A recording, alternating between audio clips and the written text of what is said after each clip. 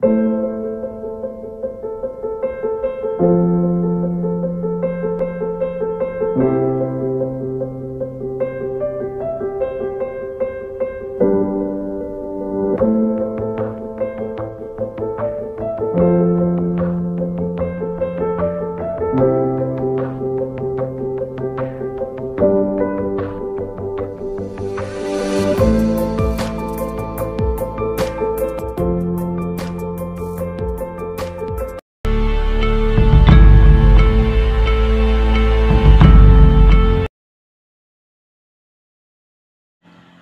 I love myself so much. I really value my life. I am born very poor, sixth of the seven siblings. My father was a pedicab driver, and my mother is a plain housewife. In terms of food, clothing, shelter, money, and medicine, that is not a big deal for us. We can stand the day despite the low income of my father Martin. Because my mother Angelita is very resourceful, family-centered, and very thrifty. That we feel no hunger when we were young.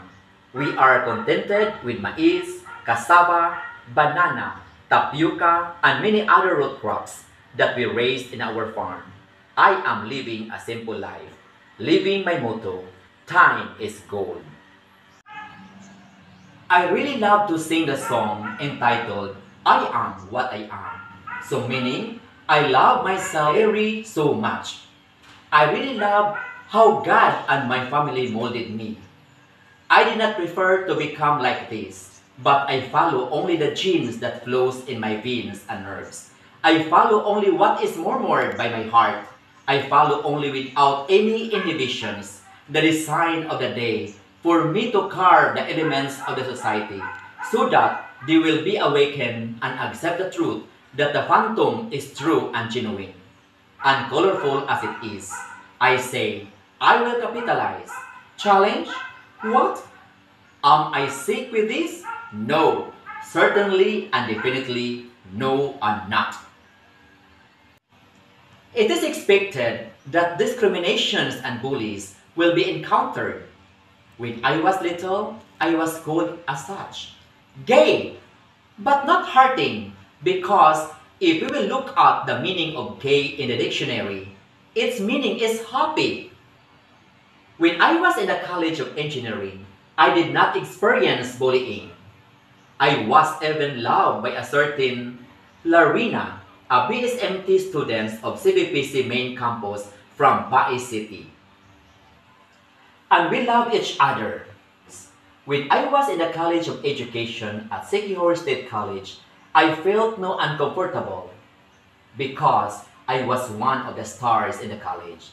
Take note, a college student used to choreograph the first Miss SSC in 1996 during the first charter day, and I did not stop there.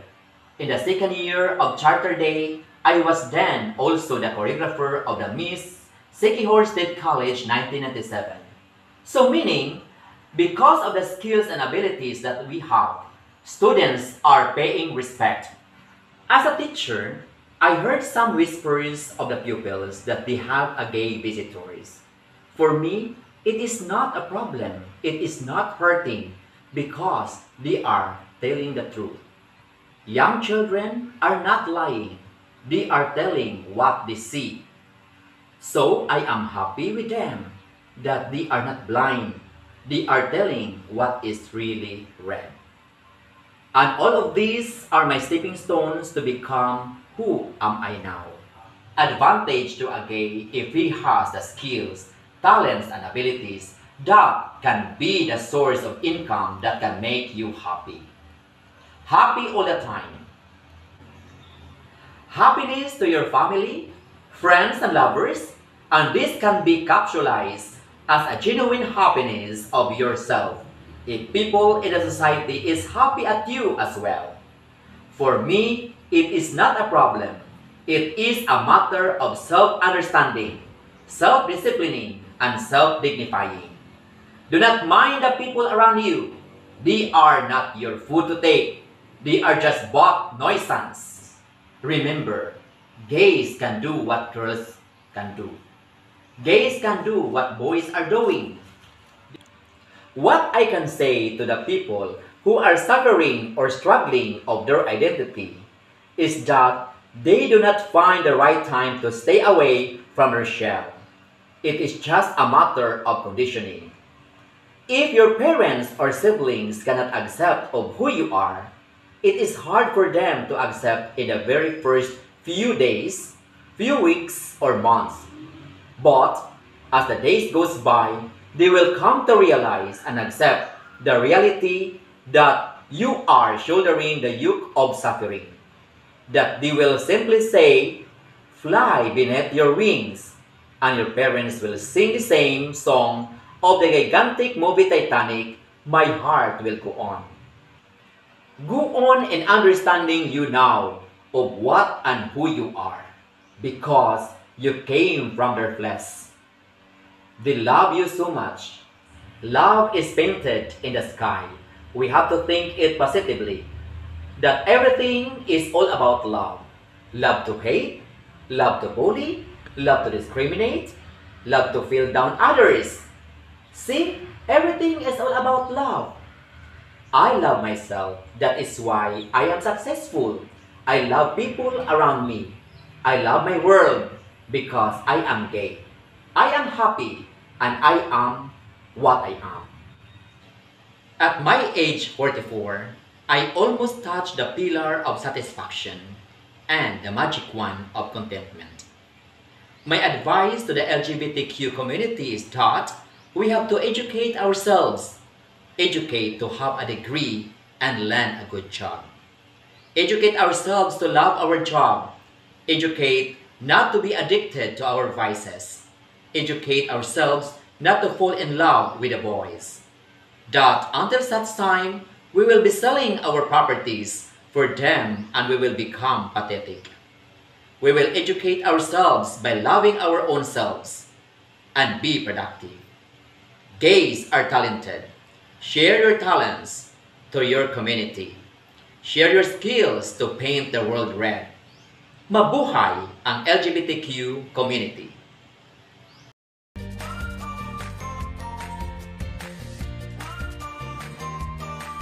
God has bestowed the gift of being that is biologically implanted with the freedom of choice has been a wonderful blessing to humanity, which gives His creation the power, but with the sole dominance of responsibility, not inequality.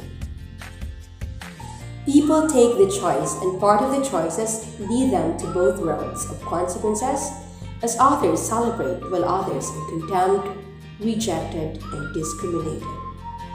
Discrimination is the battle that the few have to continue fighting on and against close minded people.